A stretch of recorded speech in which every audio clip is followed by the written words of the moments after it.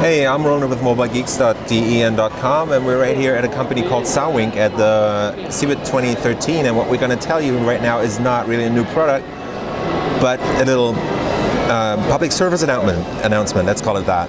Um, this one right here is a 10 9.7 inch typical Android-based iPad wannabe from China, and this one is pretty much the same. They're the same base specs. They're both one gig of RAM, four gigs of flash memory, 1024 by 768. They got a 7800 um, milliampere hour battery in there.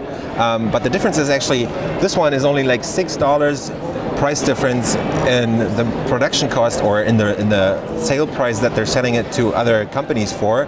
And this one has a Rockchip dual core 1366 like the old well-known Cortex A9 based platform running at 1.6 gigahertz and you get decent performance from this. Um, so the whole thing is actually pretty zippy. There's like good speeds around, all around.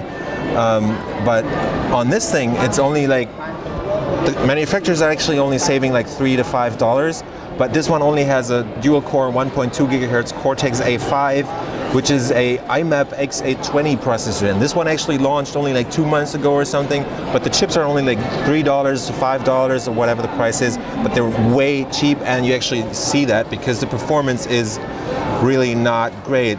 As you can see, the even the menus are struggling to actually keep up. Like the animations can't really keep up. So if you're out for a cheap Chinese tablet from whatever importer you get in the US or in Europe, actually make sure that you at least get a Rockchip, not the IM, IMAP X820 or other stuff from IMAP, because those are really, really cheap CPUs that are not really made for a mass market or something. They're basically just selling to companies who are faking iPads or stuff.